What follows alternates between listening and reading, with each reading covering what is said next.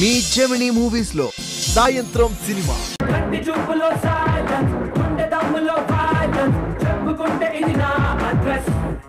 అన్ని ఇచ్చిన దేవుడు వాణ్ణి కూడా ఇస్తాడు. తన నేను ప్రేమించాలంటే పుట్టబోయే అబ్బాయికి నీ పేరే పెట్టాలని కండిషన్ కూడా పెట్టింది బా